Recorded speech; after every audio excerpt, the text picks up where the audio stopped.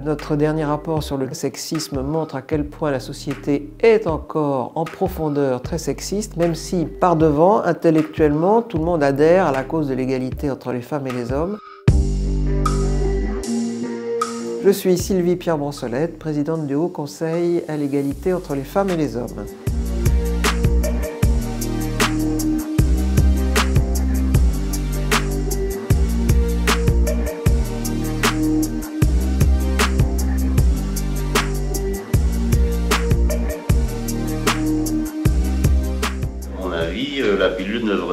Être donnée qu'à des femmes déjà mariées depuis un certain nombre d'années, ayant déjà un certain nombre d'enfants, hein, ou alors euh, vraiment un cas spécial de maladie ou, ou d'anémie de la femme quoi, qui, ne pourrait pas avoir d'enfants. Mais à une jeune fille, ça devrait être euh, bah. complètement interdit. Oh bah écoutez, oui, évidemment, on voit que c'est le patriarche de l'époque.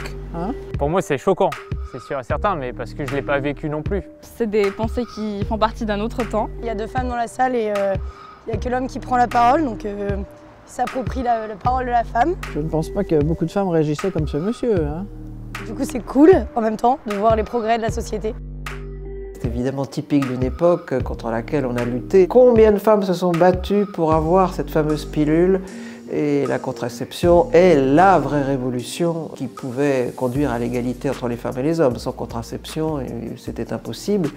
Et cette réaction patriarcale et machiste est quand même extravagante. Elle paraît extravagante aujourd'hui, elle est encore à la racine de beaucoup de personnes qui, sans vouloir le dire, le pensent encore. La contraception est évidemment quelque chose de fondamental pour donner leur liberté aux femmes. À l'époque du général de Gaulle, euh, la loi Neuwirth, euh, c'était une avancée fantastique. Et donc, euh, c'était très courageux. Lucien Neuwirth était un homme en avance sur son temps, en tout cas sur ses congénères, et on lui doit énormément. La maîtrise de la fécondité est le premier pas vers l'égalité. Ça ne suffit pas, bien sûr, mais quand même, ça permet euh, de maîtriser euh, sa vie. C'est euh, le début de tout. Il y a beaucoup de choses encore à faire en matière de santé et de contraception. D'ailleurs, il faut mieux la distribuer. Ensuite, il faut lutter contre le sexisme la manière dont les hommes euh, continuent à se croire propriétaires du corps des femmes. Notre dernier rapport sur le sexisme montre à quel point la société est encore en profondeur très sexiste, même si par devant, intellectuellement, tout le monde adhère à la cause de l'égalité entre les femmes et les hommes. Mais creuser un peu, le sexisme n'est jamais loin et chez certains hommes, il est en train de même renaître. Je pense que ça devrait inciter les nouvelles générations à se dire que le combat doit continuer, il faut être vigilant parce qu'on n'est jamais à l'abri d'un retour en arrière.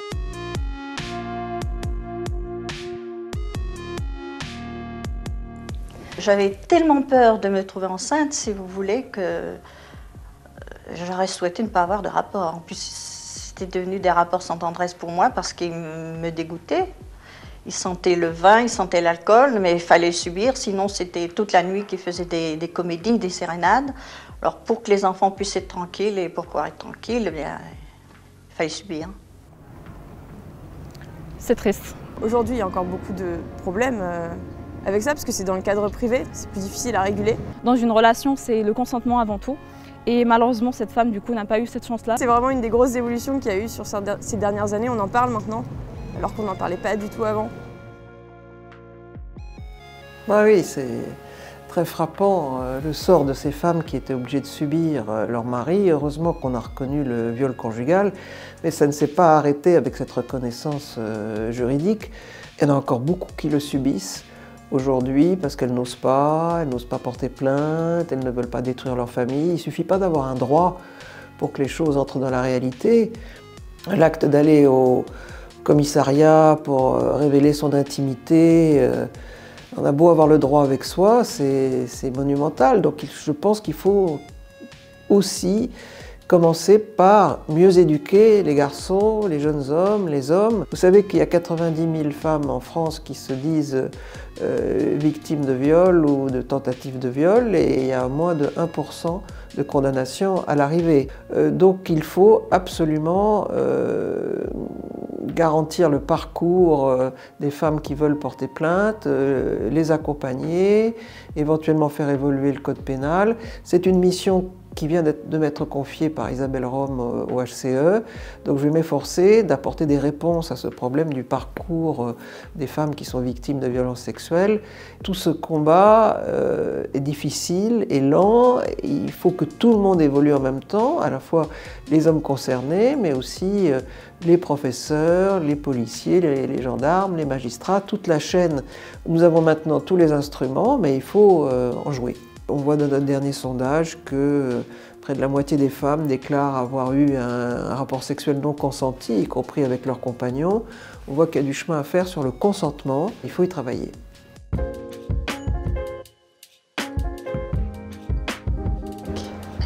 Avec le directeur du service publicité, nous parlions rémunération et il me dit, est-ce que 130 000 francs, euh, ça va?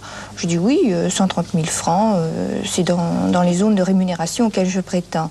Et alors, à ce moment-là, il m'a bien regardé, il m'a dit, mais vous savez, 130 000 francs pour une femme, c'est un salaire attrayant.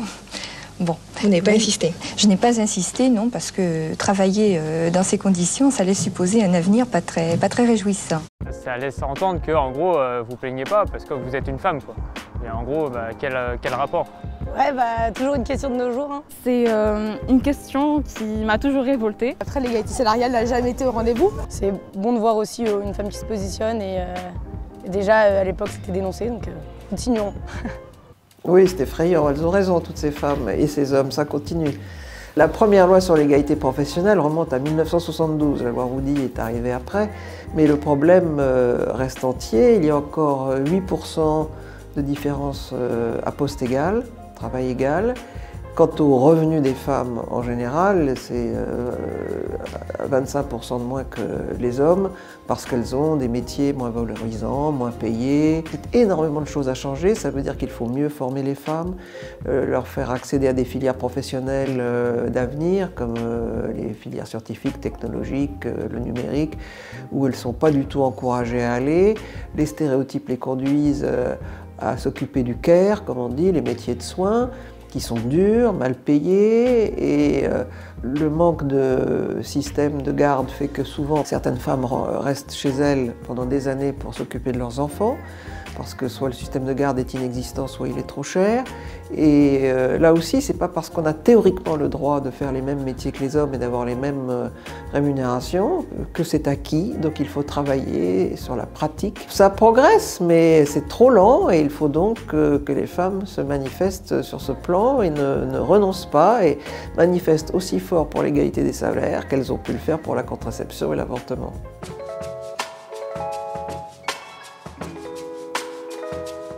Je pense que la femme doit rester à sa place et, que l'homme euh, doit... Euh, c'est lui qui doit porter la culotte dans le ménage. Ah oui, c'est absolument. Puisque c'est lui qui ramène l'argent à la maison, il est donc nécessaire que la femme tienne sa place et euh, fasse le ménage et s'occupe de ses enfants. C'est ridicule quoi. La place de la femme, la place de l'homme, c'est marrant de cliver autant le genre humain. C'est des propos extrêmement réducteurs. La femme était vraiment réduite à une simple ménagère. Les idées commencent à se déconstruire au fur et à mesure c'est pas encore totalement gagné. On remercie les féministes quand même, Simone Veil, merci. Bah, c'est formidable, ça montre quand même que ça a progressé. Plus personne n'oserait dire à une femme que sa place c'est juste à la maison. Même si certains le pensent encore, euh, j'en doute pas. C'est sûr que les progrès sont quelquefois trop lents et que même les femmes pensent, euh, dans notre sondage euh, du rapport sexisme, que c'est pas normal, enfin un certain nombre de femmes, c'est pas normal de rentrer euh, chez soi, d'arrêter de travailler pour s'occuper des enfants. Il y en a encore qui pensent ça. Donc il faut que toutes se révoltent contre ça et que les hommes l'admettent vraiment parce que beaucoup d'hommes disent évidemment à leurs femmes qu'ils sont très contents qu'elles travaillent, qu'elles rapportent d'ailleurs de l'argent à la maison, mais quand il s'agit de rentrer chez soi parce qu'un enfant est malade, c'est plutôt la femme. Quand il s'agit euh, de s'occuper des rendez-vous médicaux, des inscriptions à l'école, enfin de faire tout ce qu'il faut pour les enfants, euh, souvent les hommes laissent faire les femmes, qui ont du coup cette charge mentale. Euh, mais il faut les habituer dès le plus jeune âge, dès le primaire, à l'école, à apprendre à faire la cuisine, à changer les couches, à concevoir leur rôle autrement qu'étant le mâle dominant qui est le chef à la maison. changer les manuels scolaires, euh, changer la manière dont les professeurs d'ailleurs interrogent les élèves en ayant tendance à trop interroger les garçons plutôt que les filles. Euh, il faut détruire les stéréotypes dès le plus jeune âge et par exemple que la cour de récré ne soit pas un terrain de foot avec les filles bordurées. Je demande aux femmes de ne pas perdre espoir et de continuer à se battre. Il n'y a qu'en se battant qu'on fait progresser les choses. Merci mesdames.